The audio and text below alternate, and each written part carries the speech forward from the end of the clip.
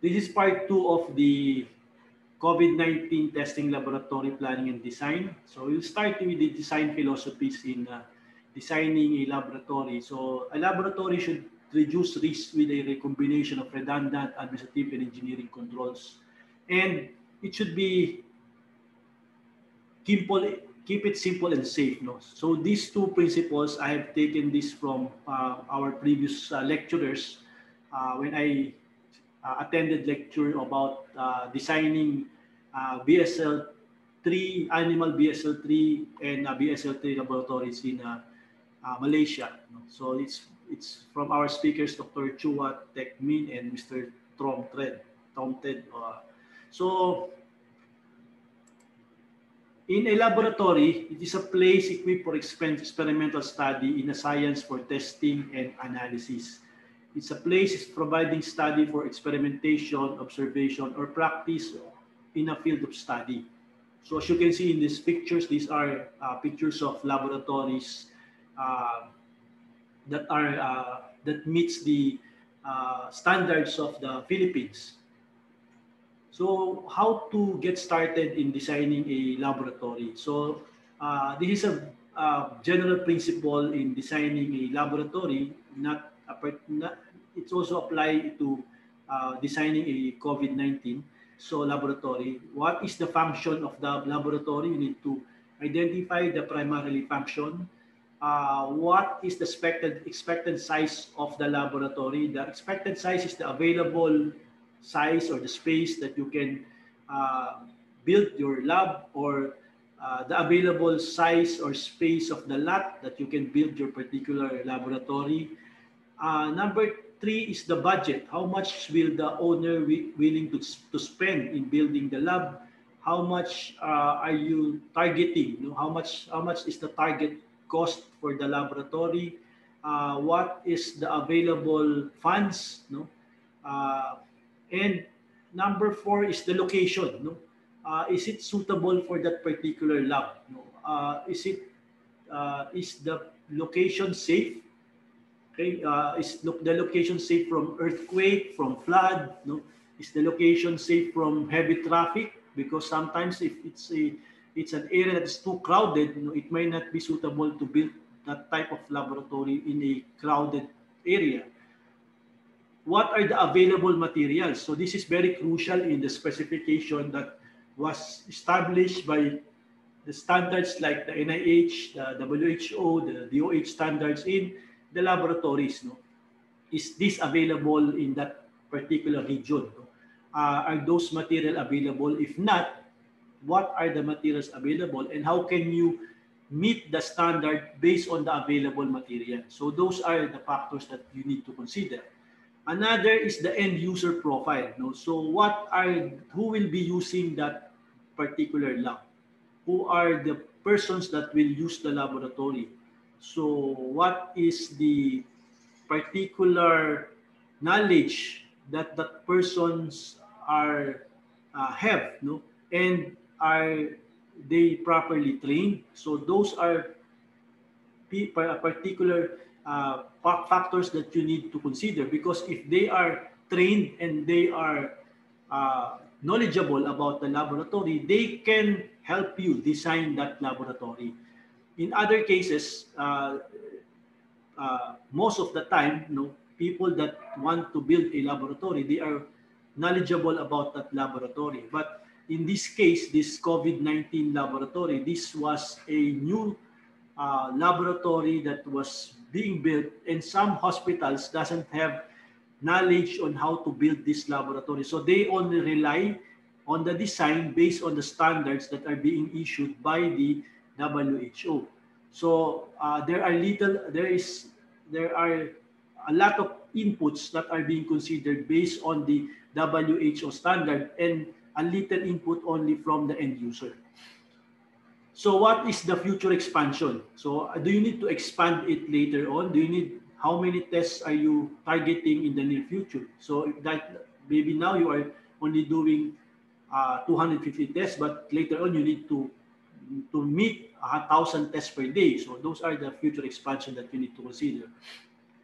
uh, what are the biosafety level enhancement that you will be including in your design? No? So what are the enhancement that you want to to uh, include and what are the uh, available uh, equipment that you can install no, to enhance your your laboratory. Some enhancement like biometrics, like uh, sensors, no? so those are enhancement that you can include in your design and those are enhancement that you can uh, uh, introduce to your client. No? Or sometimes you can uh, introduce enhancement in materials no? if it's available. So what are the guidelines that encompasses the design? No? So like the CDC, WHO, NIH, no, uh, DOH. So those are the guidelines that you need to consider. So you need to study guidelines, uh, guidelines that are related to your your uh, laboratory, and then study if the local guidelines uh, meets those international guidelines, so that you can uh, suggest things that are uh, that may contribute to the um, uh, performance of your building based on international standards. So uh, another factor in uh, designing a laboratory should be cleanable, you know, the cleanability of the facility. So the laboratory should be designed so that it can be easily cleaned. And bench top must be seamless and one-piece design to prevent contamination.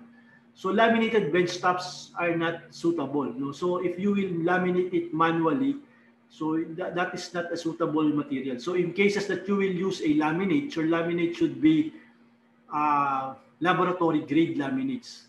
So penetration for electrical, plumbing, and other consideration must be completely, permanently, and sealed. So in cases that you will be creating uh, outlets, switches, lighting outlets, so you need to make sure that those are sealed. No? Those are sealed that insects or ants or uh, small insects cannot penetrate inside your laboratory through those uh, uh, fixtures. If the bench abuts a wall, it must be cove or have a backsplash against the wall. So if you have a uh, table that is uh, of the on the side of a wall, you should put a backslash or a cove, uh, to prevent the spillage of uh, anything at the back of the cabinet um, walls should be painted and washable and hard non-porous paint. So you need to make sure that the walls are are painted uh, properly and should be uh, non-porous. Spaces between benches, cabinets, and equipment must be accessible for cleaning and allow for servicing of equipment. So spaces between cabinets, no? So you need to make sure that the cabinets uh, uh are are cleanable. The back of the cabinets, the under cabinets are cleanable so that you can uh, make or do a preventive maintenance or regular maintenance. Oh, and the, in terms of maintenance, all biohazardous material within the laboratory facility must be clearly labeled. Everything in the facility should be that are uh, hazardous or biohazardous should be labeled. So all work surfaces must be decontaminated at least once daily and after any spill or viable material. And uh, all infectious liquid or solid waste must be decontaminated before disposal. Use gloves while working in the laboratory. Uh, do not touch other surfaces uh, with same gloves that you, you use for cleaning. So in in in in the preventive maintenance or the maintenance uh, day or the maintenance uh, procedures, you, you should not use the same gloves in, in touching other uh, like door handles, elevator buttons, because uh, you might bring the, the virus outside the laboratory. So minimize the amount of airborne dust created during sweeping activities. So um, in, in, in cleaning, you need to use uh, damp cloth. No? Uh, instead of using a broom or maybe you can use uh, uh, a good vacuum cleaner. So mist the area with Lysol spray or similar product before sweeping or using a HEPA vacuum. Wash the floor of the laboratory with either 1, 1 is to 6 bleach solution or Lysol, IC, and water. So these are these are common SOPs in uh, cleaning the laboratories. So in terms of pest management, sanitation and housekeeping should be considered. Proper storage system, trash can can be used, can be can trash can type and use should be uh, properly uh, uh, identified or properly labeled, no, and uh, the right type of trash can should be the one that you will install on specific areas trash handling protocol. So in terms of uh, handling the waste, you, you, need to have an SOP or standard operating procedure in handling waste. And in terms of uh, structural deficiency, so in the harborage or pest entry. So these are also one of the consideration of the management of pests. So you need to prevent areas that pests can enter or pests can leave. No? So you need to uh, clean everything uh, uh during the preventive maintenance and you need to make sure that there are no gaps or crevices or holes that pests can enter your lab. Integrated pest management, another one. So you need to be you need to have a pest management uh, procedures or a a third party that can uh, regularly uh, uh, regularly spray no uh, pest control chemicals no in your uh, outside the laboratory so that the these pests will not enter your laboratories. So uh, proper equipment selection and equipment planning is also one factor. You need to uh, position laboratory table near windows so that you can have natural light. Uh, place biosafety cabinet away from exits and traffic. So this is in order to prevent uh, uh, hazards that are near the exits. Uh, provide eye wash in negative pressure rooms. In cases that you have a negative pressure room, you need to provide, provide an eye wash or in a sink. Uh, you need to use hands-free sink you know, in, in, cases that you can buy those. Uh, safety showers, uh, if available.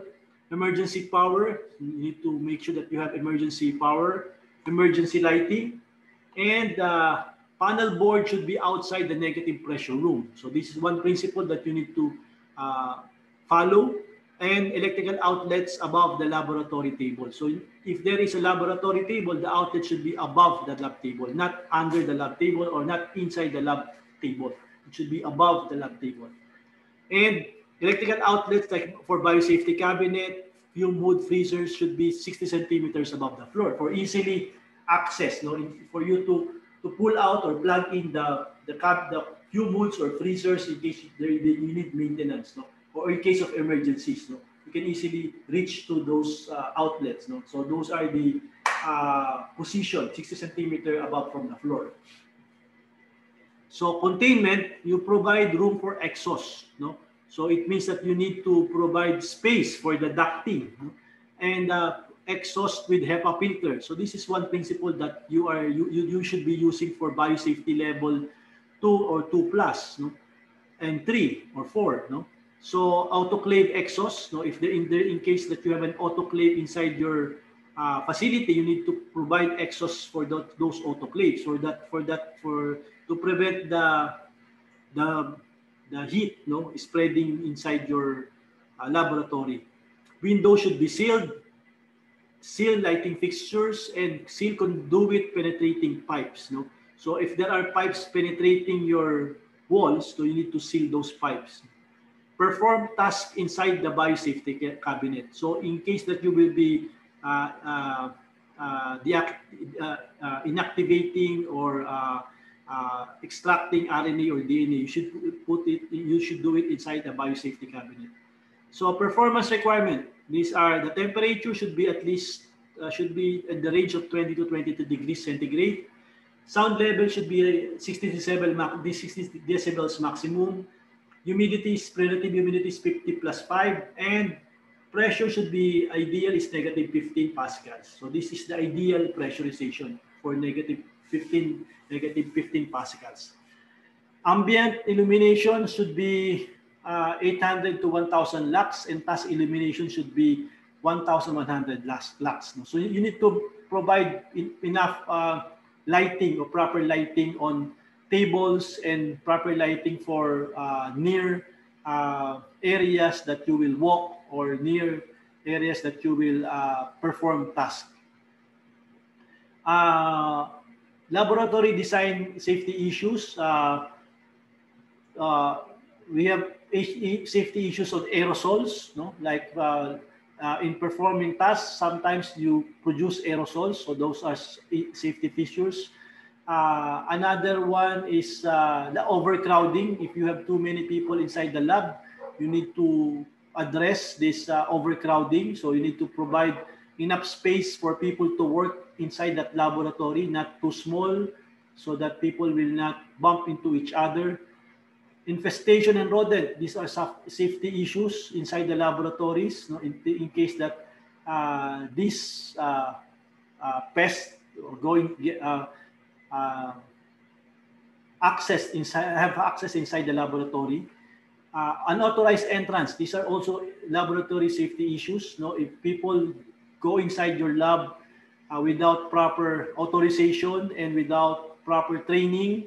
So you need to uh, have locks or safety uh, access controls before so that people will not enter your laboratory immediately or an unauthorized entrance. Uh, workflow. So these are issues in laboratories. So if you don't position your uh, equipments properly, so your workflow will be uh, disrupted with, uh, with the improper locations of uh, equipments. Changing room design. So this is another problem in laboratories. Sometimes they don't provide uh, enough space to people to don and doff or space for people, the donning and doffing space is not planned properly. There's not enough space in the donning and doffing areas or there are now uh, trash bins or there are no wash areas. No? So those are problems in the changing room. And another is the waste disposal. Okay.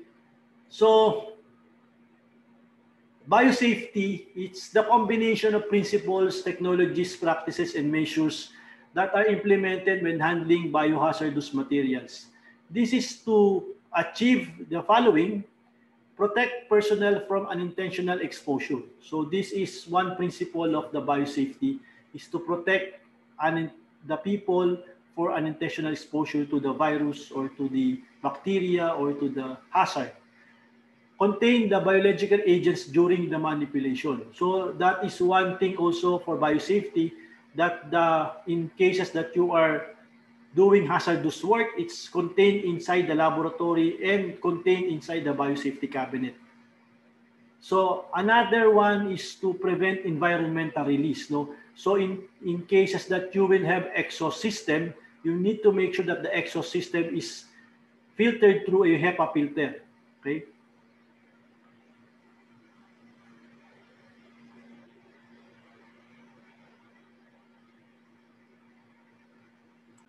So biosafety levels or BSLs, no, a, a biosafety level is the level of biocontainment precaution required to isolate dangerous biological agents in an enclosed facility.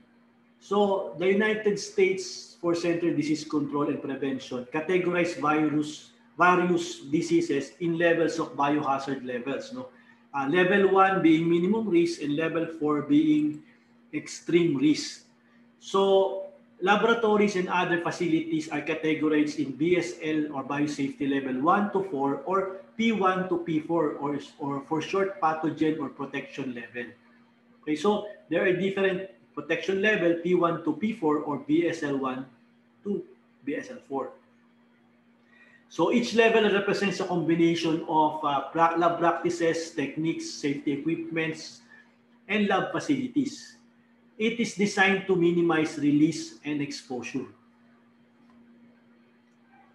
So biosafety level 1 is suitable for work involving well-characterized agents not known to cause disease in healthy adult humans and minimal potential hazards to the to laboratory personnel and environment. So this means that the laboratory that we are designing is BSL2, right? So BSL2 laboratories are laboratories, no? Uh, level 2 infections are not considered to be a serious hazard, no? They are moderate individual risk and limited community risk. So BSL 3, BSL ano BSL 2 are laboratory with that that uh, that uh, uh, are, that these viruses are being uh, uh, studied or test on this laboratory, the BSL2, the, the viruses are measles, uh, salmonella, toxoplasma, hepatitis. Those are uh, ba- ba- uh, viruses that are studied on a BSL2 laboratory. So, the but in uh, in this case, the the level of protection for these BSL2 laboratories, we have the practices and te- techniques for BSL3, which is uh, we have a controlled access, decontamination waste, decontamination of lab clothing, and baseline serum samples of lab personnel. So these are the practices of BSL3 that is included in the BSL2 design that we that the COVID-19 laboratory is requiring.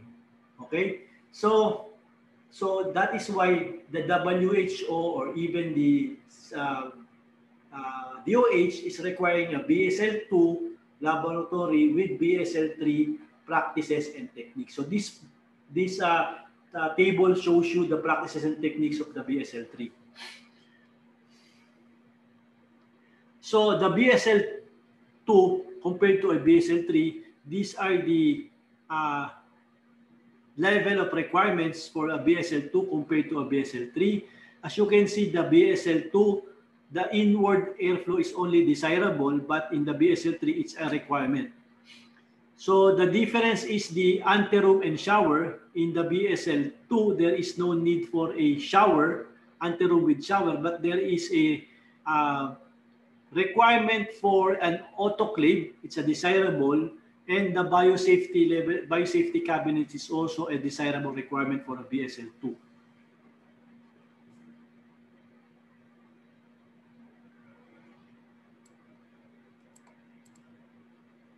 Sandali lang ah, may tumatawag na naman. Sandali. Bababa ako sandali ah. ah. sorry. I will I will be So we'll now go to biosafety level 2. So biosafety level 2 would uh, uh, would cover work with agents associated with human disease, in other words, pathogenic or infectious organism, posing moderate hazard. Access to lab is more controlled than biosafety level 1 facilities immunocompromised or immunosuppressed and other persons with increased risk infection may be denied admittance at the discretion of the laboratory director. So there are certain uh, controls, no, administrative controls that are involved on biosafety level 2, like persons that will enter the laboratory and the agents that will be handled on the laboratory or pathogens or infectious organisms. So there are these uh, these administrative controls are are uh, identified. No? So you cannot work on uh, agents that are posing high hazard. So those are controls that are enumerated. So you cannot go, do high hazard agent uh, inactivations on biosafety level 2. So this is a design of a biosafety level 2, biosafety level 2 laboratory so uh, the biosafety two-level laboratory is uh, it has a autoclave outside, a shower, trash bins, no, uh, lockable doors, uh, biosafety cabinets inside, and uh, the these have non these the chairs are covered with non-fabric material, and uh, eye wash available, negative airflow, non-recirculation recommended, and door closed when work is in progress. So these are requirements in a biosafety level 2, not level 1 plus. No? So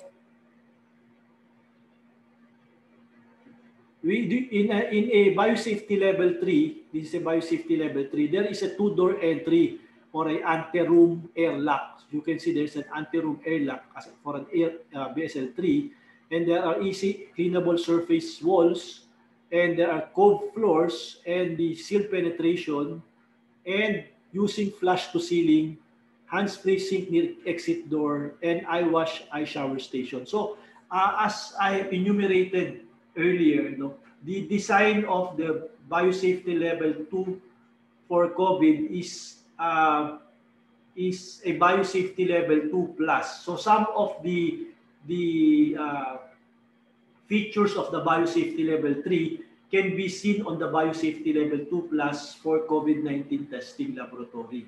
So what, what are those? You can see those uh, eye, eye wash shower station, the seal penetration, the flash uh, lighting flash to ceiling. So those are some of the biosafety level 3 that can be seen on the biosafety level 2 plus.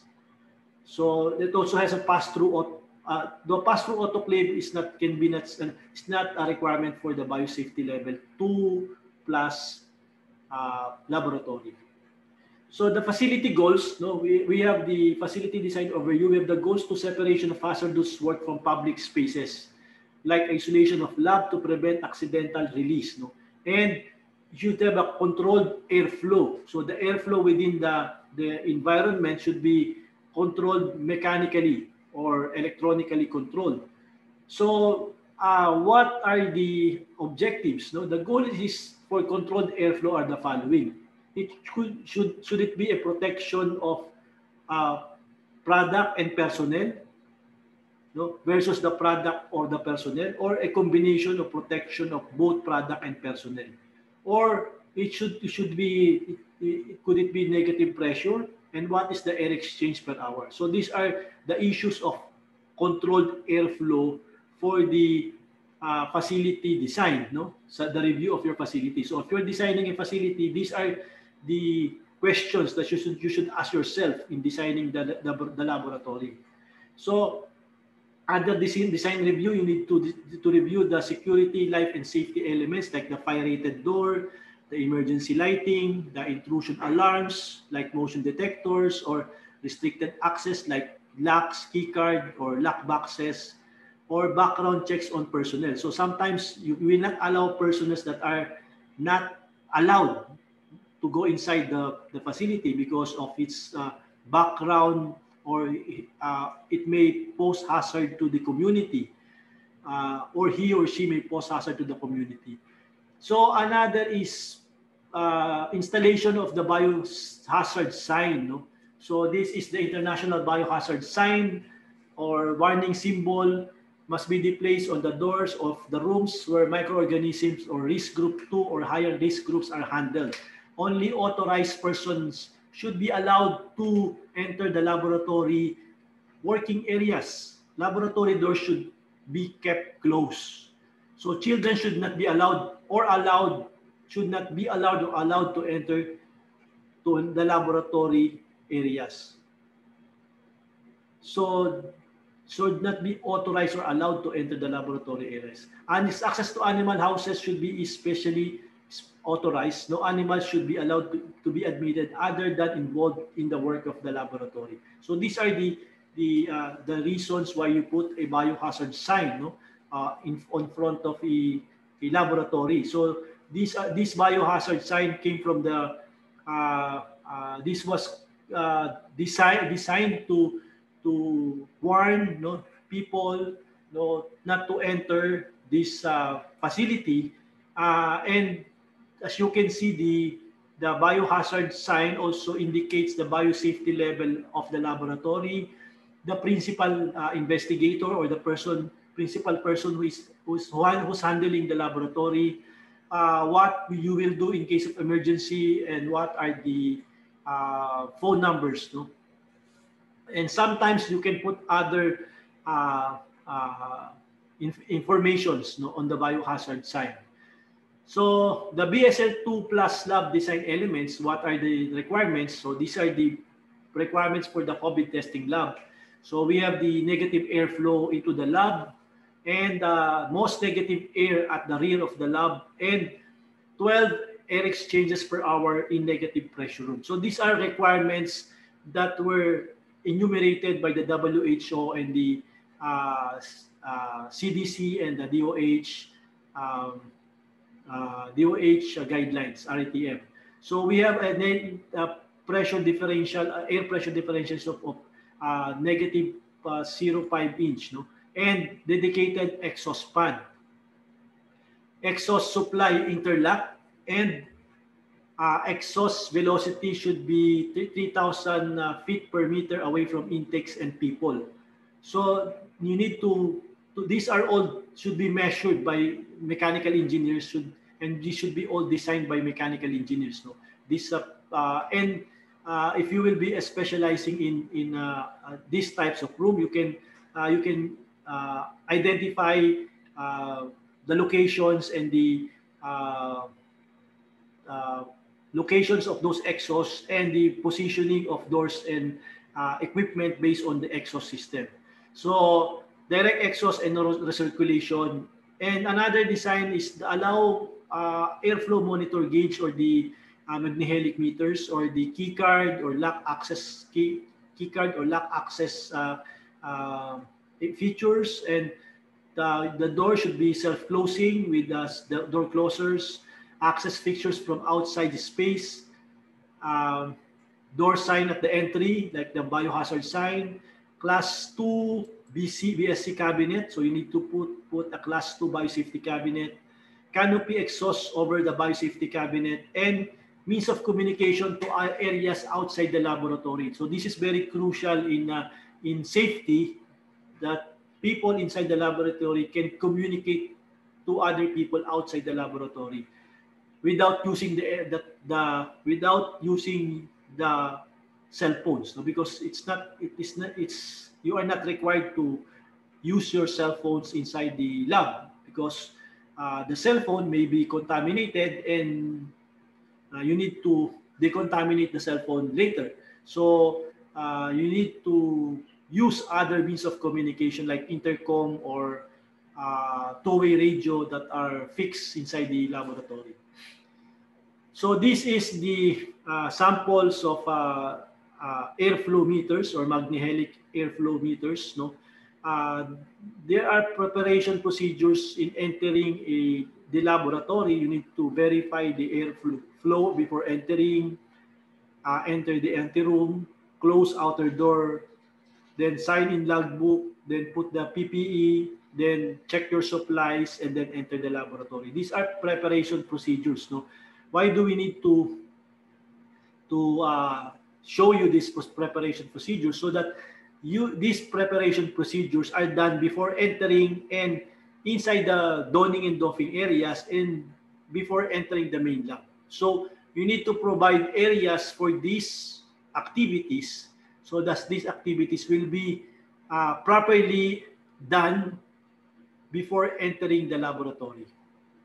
So what are the engineering controls? Engineering controls are the primary barriers, the mechanical devices that minimum exposures, and must be applied before work practices and personal protective equipment. So you need to put these engineering controls before the PPE. And redundant, you need to put a redundant power system like uh, generators. And interior partition must be floor-to-floor height. These are engineering controls. Pass box for room-to-room transfers of specimen. So there should be a pass box to transfer the specimen from room to room. People should not transfer the spe specimen outside the hallway. And installation of Magnehelic gauges for monitoring of room pressure. So you need to put Magnehelic gauges on pressurized room. So these are the specification of the doors. So doors, uh, each door of the room should must have a view panel like this one. Vents are prohibited in laboratory doors. So there should no be should there should there should be no vents on the laboratory doors. Door width must be at least one meter to accommodate entry and exit of equipment. So that is the specification of door width because of the equipment entering the door, the, the, the laboratory. Metal door powder coated finish with tempered glass view panel is uh, a must. No, the window should be fixed, tempered or safety glass, and glass should be properly sealed to achieve airtight and watertight. So this is a, a sample of a window you no, that is sealed, airtight, and tempered. These are samples of uh, doors. No, as you can see, there are door closers. This, this you can see, these door closers are is on the outside. This, this means that this doors pulls out. If these doors, the door, door closers are in the inside, this door means it's it should you push this door in. So the architectural consideration wall should be smooth, painted and easy to clean, made of sturdy materials, no cracks, no holes, minimum 2.6 floor to floor height, antibacterial property, can withstand negative Pascal pressure. So this is very important for the walls because if your walls are not properly attached, it may collapse because of the negative pressure or it may pop out because of the positive pressure. So the ceiling shall be smooth, painted, and easy to clean, made of sturdy material. So most of the time or all the time, the, the, the wall type is similar to the ceiling type. So if your wall is made of uh, uh, metal, your ceiling is also made of metal. So no cracks, no holes or ne on negative pressure for rooms and can withstand negative 15 pascals. So the the structural uh, connections or the attachment of the ceiling to the frame of your uh, room should be properly detailed so that it can withstand the negative pressure uh, air.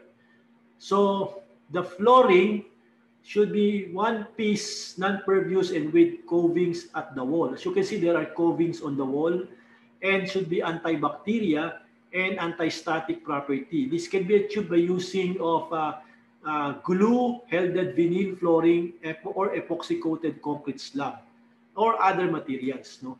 And as you can see in this figure, this is an epoxy coating coated slab, uh, coated, uh, I know this is a vinyl, rolled vinyl flooring. These are uh, uh metal walls.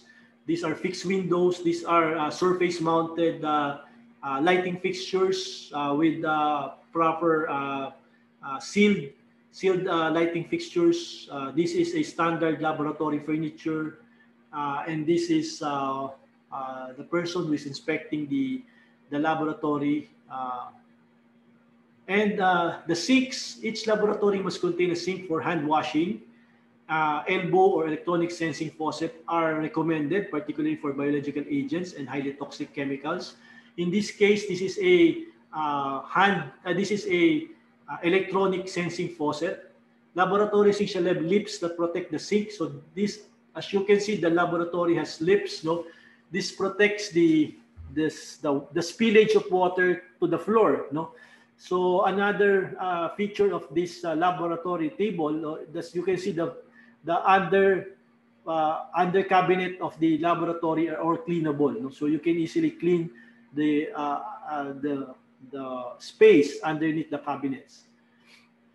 So this is a this is a section of a laboratory uh, uh, furniture. So you can see the, those are the standard heights and the standard widths of the laboratory furnitures. So uh, it should be smooth, non-porous surface, uh, resist to absorption of liquids and harsh effects of disinfectants. So there are different types of uh, laboratory furnitures no, that or laboratory furniture tops. No, we have the uh, epoxy resins. We have the uh, uh, solid solid what you call this stones, or sometimes it's phenolic boards. So depending, or sometimes it's stainless, depending on the different types of laboratory procedures. No, but in this case, this is a uh, biological laboratory, all the tops are all uh, phenolic uh, resin tops or epoxy resins. So the, the, the, the chair should not be fabric coated. It should be uh, hard plastic or non-porous uh, material. So these are the uh, modules in laboratory furnitures. No, this is one one module. No, as you can see, the the the, the distance from one cabinet to one cabinet is 5 feet and from the edge of one cabinet to one cabinet is about 3.2 meters uh, distance. No? So uh, based on this module, you can now check on the designs of each room based on the distance per module so you can properly distance the one furniture to one furniture and properly uh, create a good uh, lab wall-to-wall distance. So furnitures uh, and, and locations of uh, furniture designs and location exit paths. The all furniture must be sturdy and all work surfaces like must be impervious to chemical use. Uh, lab shall have a minimum aisle clearance of at least 90 centimeters. Aisles used for emergency egress must have a clearance of at least 90 centimeter. Lab benches and other furniture must have a minimum clearance of 90 centimeter.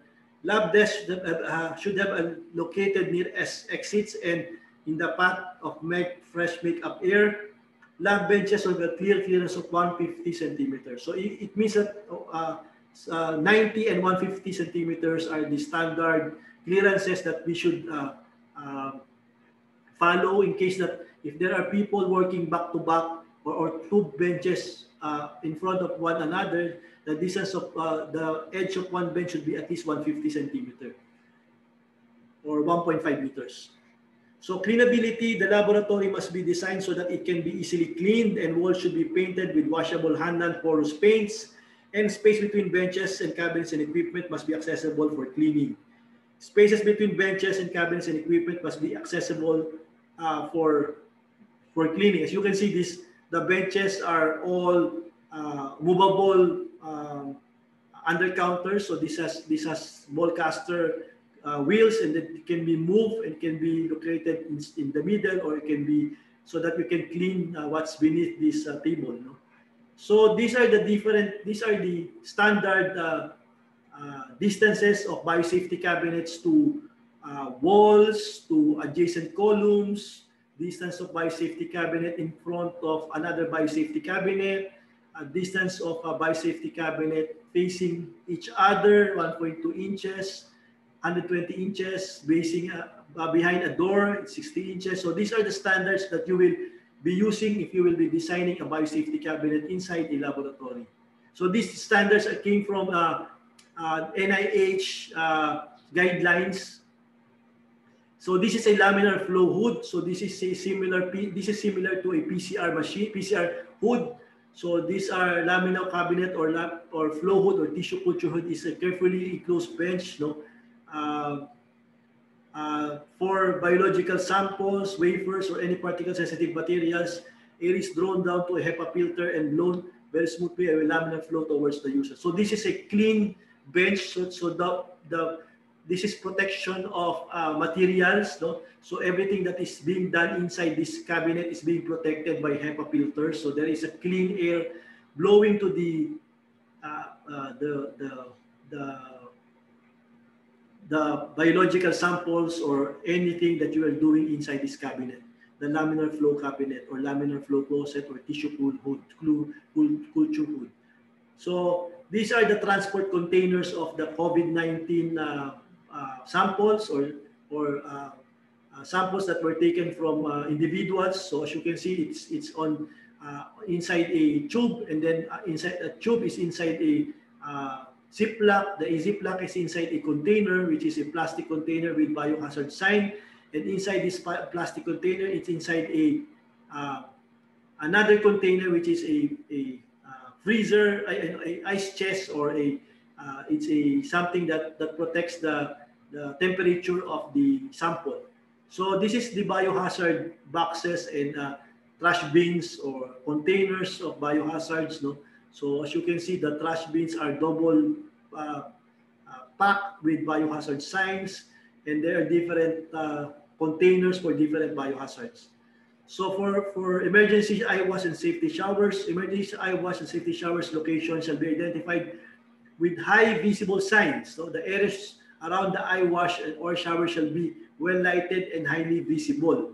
And the floor immediately beneath the emergency eye wash and shower and the radius of between the within about is 12 to 30 inches shall be distinctive pattern and color to facilitate promoting a clear path access. In this case, uh, this was taken, this picture was taken before the the uh, the uh, the certification of this laboratory. So right now there is a tape showing the safe the, the unsafe area or the safe area surrounding this wash shower station. So there is a tape, uh, a yellow tape now uh, And this picture was taken before that yellow tick.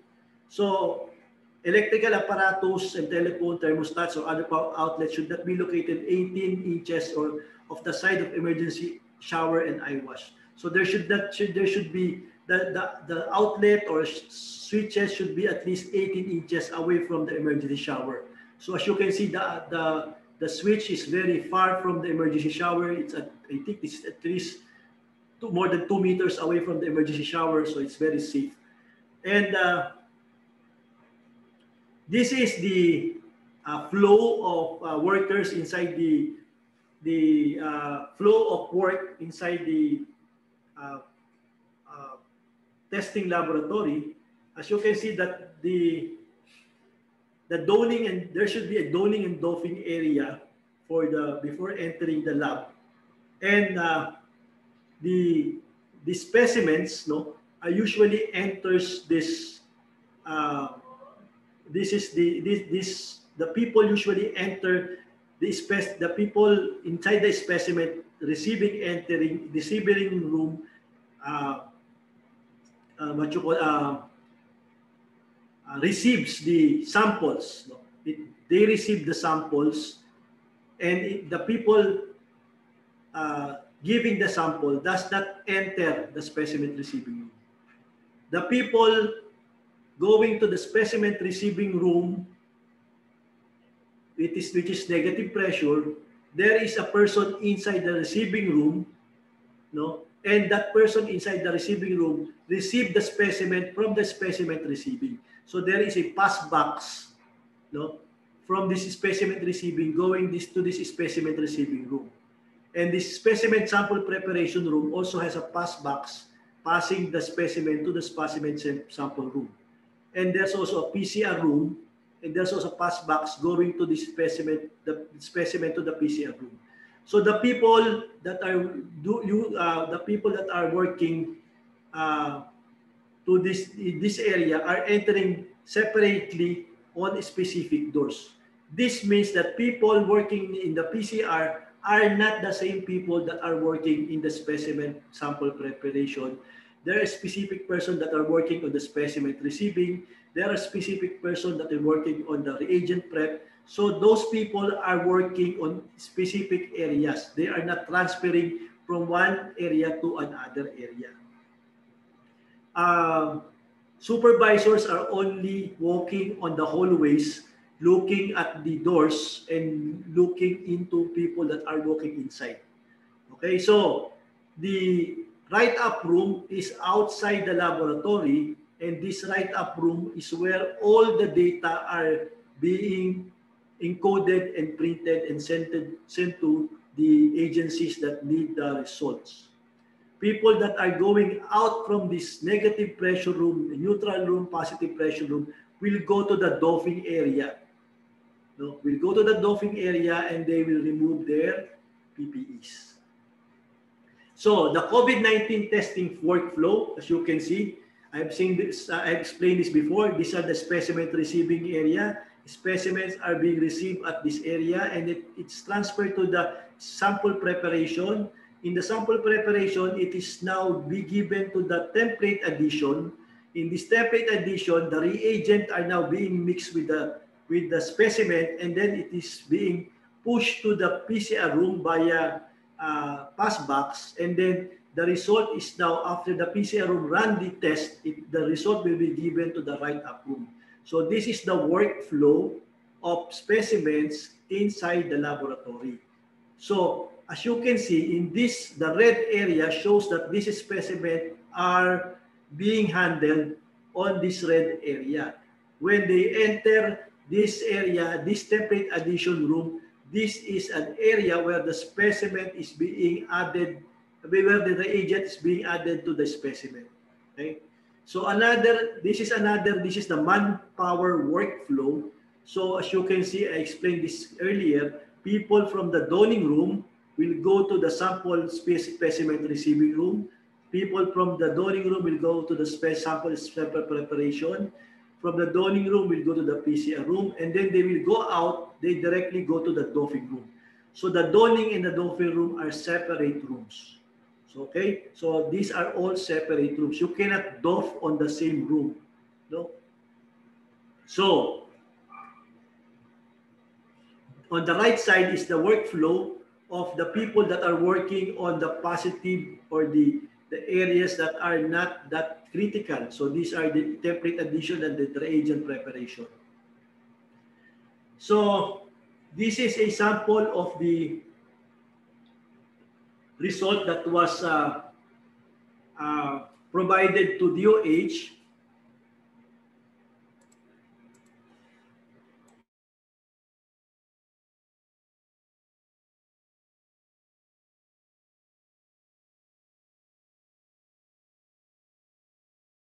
uh, from a finished uh, laboratory. This result shows the area of each lab and the room height, the volume, air exchange, the volume of air in Q, uh, and the air volume, and the TOR, and the return air, and then the exhaust air, the fresh air, and the room pressurization. So these are all tables that are being given to Department of Health for you to comply with the, the requirements that they need.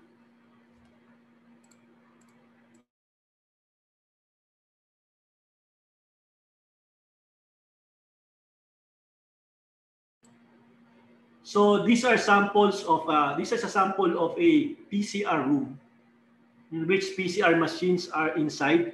So this is a PCR machine. This is a sample of a refrigerator. This is a sample of a low, ultra low freezer. That is a requirement for, for PCR room. So as you can see, these are the ultra low freezers. These are the PCR machines. These are the specification of humidity, temperature inside a PCR room.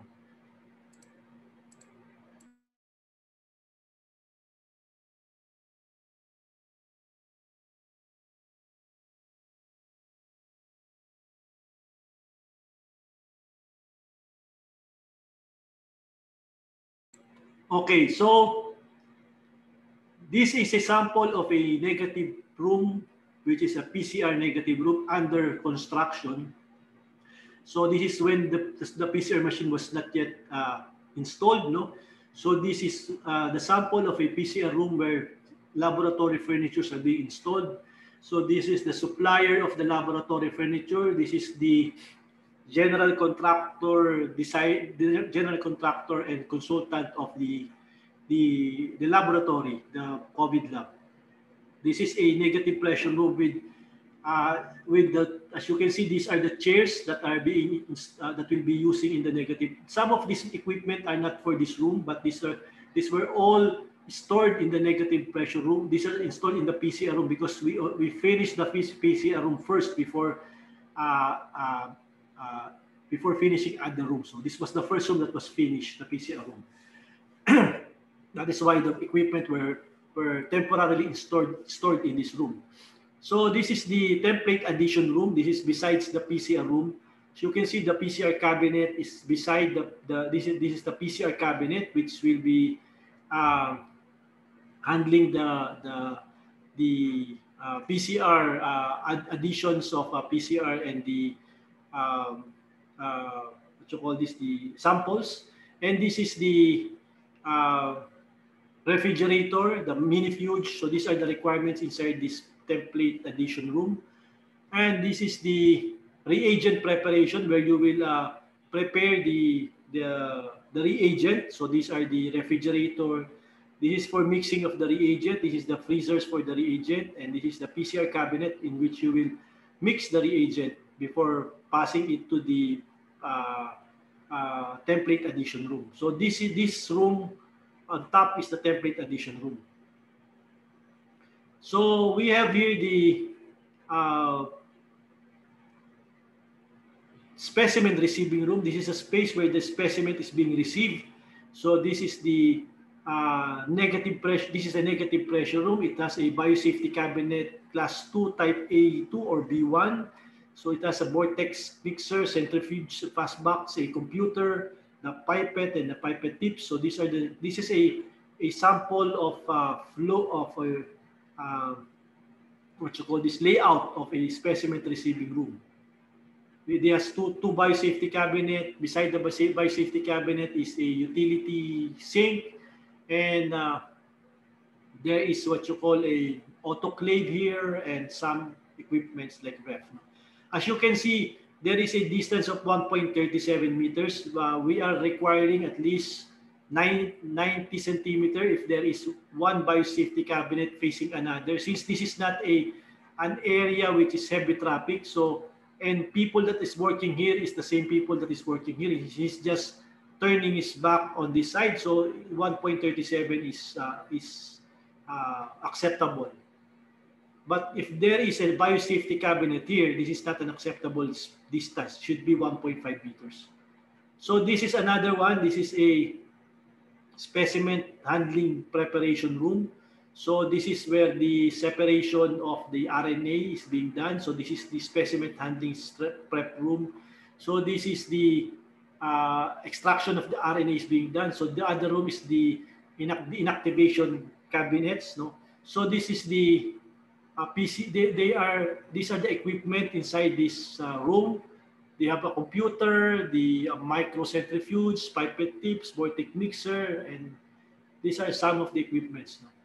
This is the donning room in which people will be uh, uh, putting on PPEs. Okay, so you have a sink, a pass-through locker, and a cabinet for the PPE cabinet. So if you go out, this is the doffing room. So you can get your things that you uh, stored in the locker, then you can go out uh, upon doffing, no, upon removing your PPEs.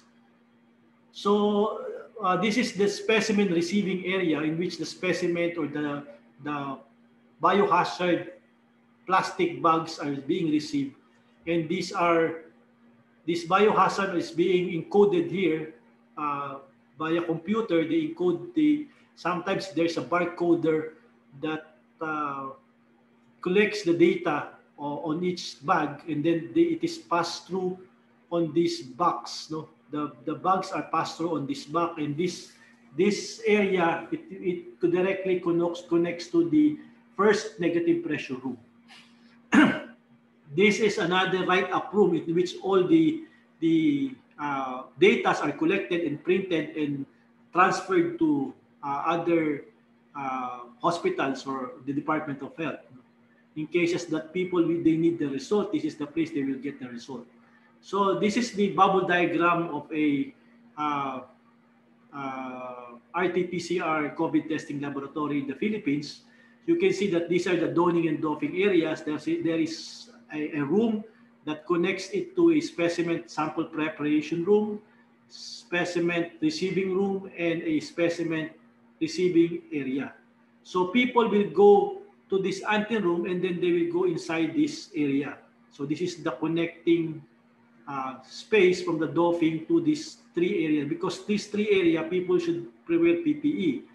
So people wearing PPE are connected to the should go to the PCR room and then they can go to the this area there's a PPE they can go to reagent prep and template addition.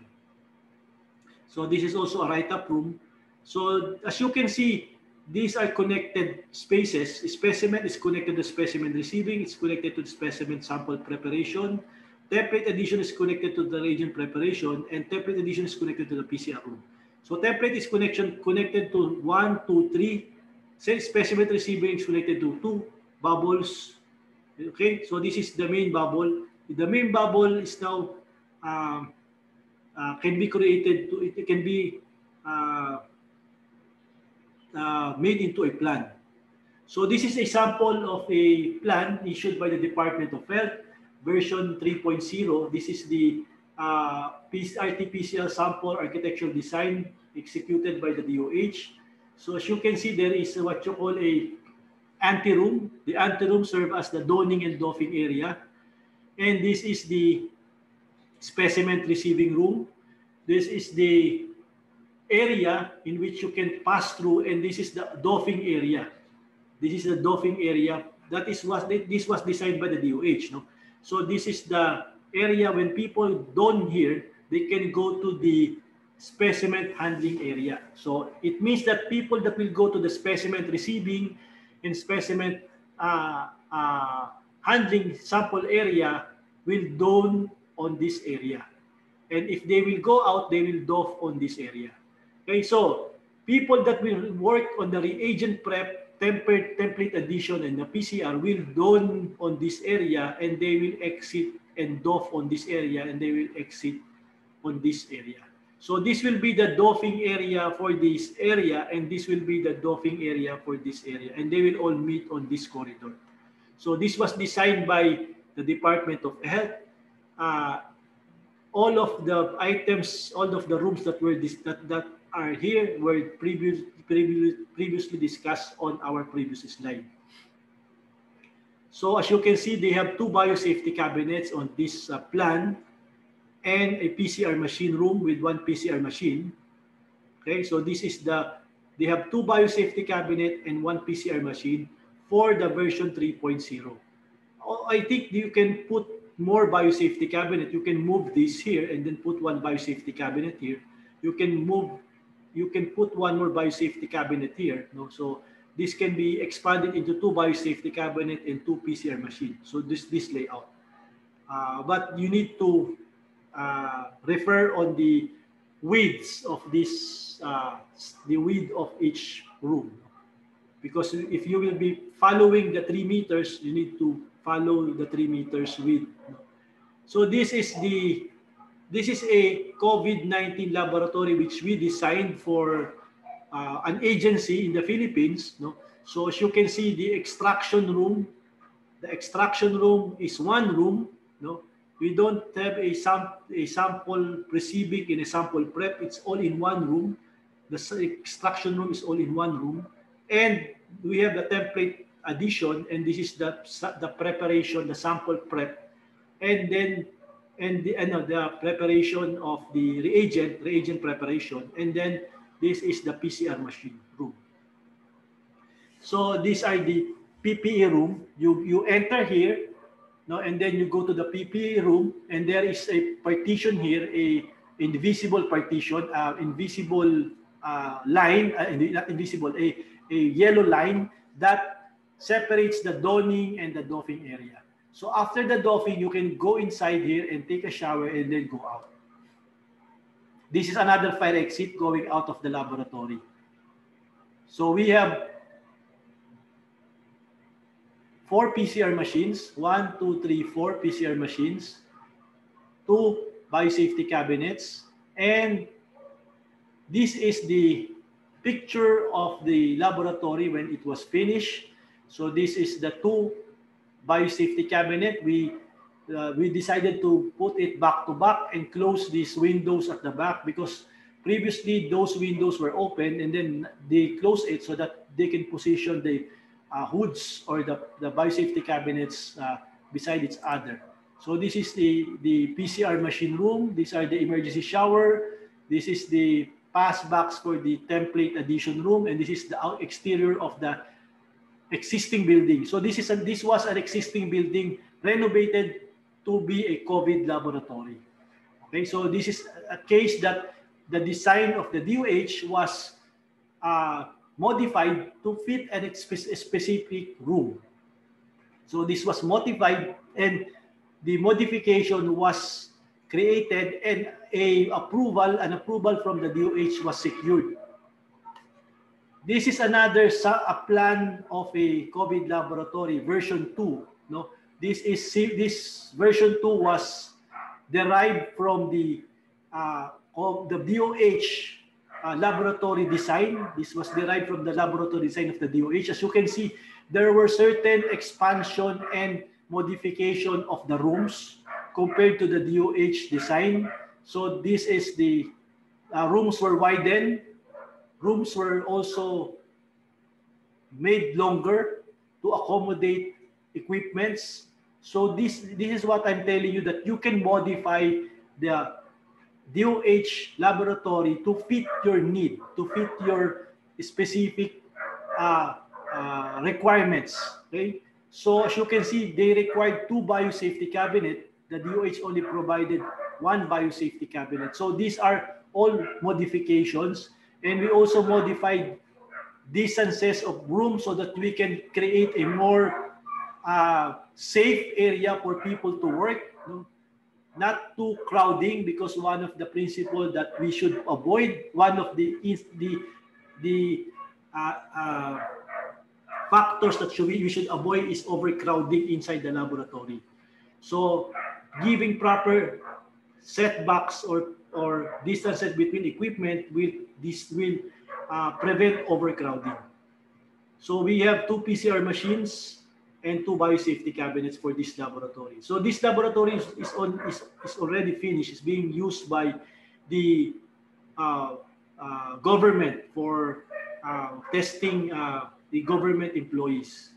So this is another version 3 of the laboratory. This is also a laboratory for a government agency. This is another uh, modification of the version 2. Uh, as you can see, we provided two biosafety cabinets here and another two biosafety cabinets here. So this is modification of MOBO version 2 uh, of our design. So this is the version uh, 4 that we designed. This is a container van type version. So as you can see, we, will be using uh, uh, several container vans to create this laboratory. So as you can see, they have a version 4, which as you can see, we have five PCR, PCR machine, two biosafety cabinets in the specimen receiving, two biosafety cabinets in specimen handling, and this is the version 4. Then we created the version 5. We decided to because we made a version 1 that the sample receiving and sample prep are in one room, we decided to create a version 4 in which sample receiving and sample handling is in one room. So this is the version 4 of our, the version 5 of our uh, laboratory design. So the version 5 shows that five BSC are in one uh, row and there is what you call a work table you know, for uh, the equipments. The donning area and the doffing area is on one side and there is another donning and doffing area on this side because these are all supposedly clean rooms. No? Although it's negative, but the viruses are all inactivated on this room. So so one one room is a negative pressure. This one is a negative, and this one is this one is a negative pressure. This is a neutral pressure room. So these are five, four biosafety cabinets, and these are four PCR machines. One, two, three, four, five, six, seven. Seven PCR machines, and we have two piece reagent prep to make the uh, uh, to have more results in a day. So we, we put two, two, two PCR hood and one, and this is the zones. No? These are all negative pressures. These are all uh, neutral and positive pressure rooms. And this is the workflow of people